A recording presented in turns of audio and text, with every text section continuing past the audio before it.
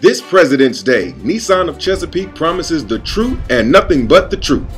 Dan Washington says that if you come in this weekend for President's Day, he'll double your rebate on any automobile and give free oil changes for life. For life. Only at Nissan of Chesapeake will you find deals like this.